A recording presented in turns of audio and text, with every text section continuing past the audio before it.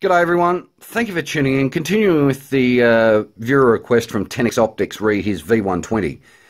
This is going to be a quick short video re actually physically connecting it to another uh, a terminal emulator aka a PC with some sort of COM port on it.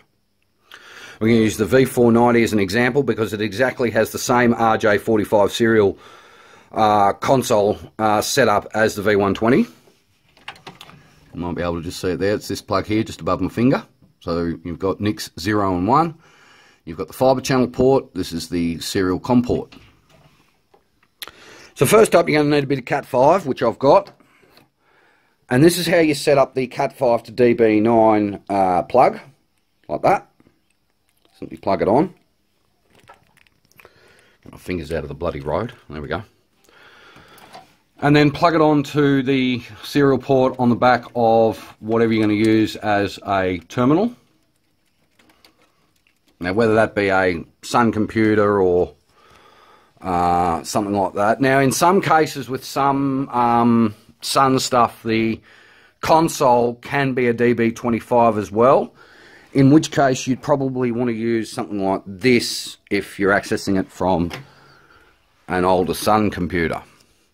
The other end of the Cat 5, which I'll pick up with my foot, like this, and you simply plug it into the serial port. In a nutshell, basically speaking, there is your what could be best described as a null modem lead.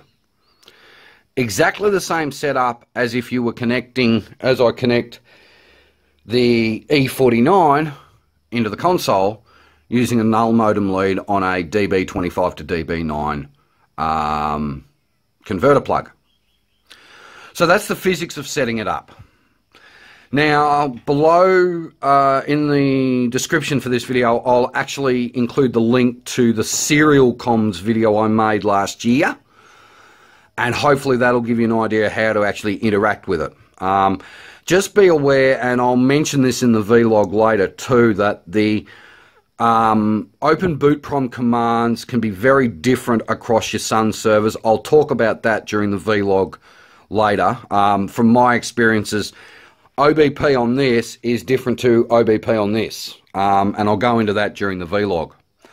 Anyway, that's just a quick video on how, actually how to connect it together. And then, uh, as I said, I'll put a link into using Serial Console uh, in the About section of this video. Anyway, thanks for watching. Please like, comment, and subscribe. Cheers.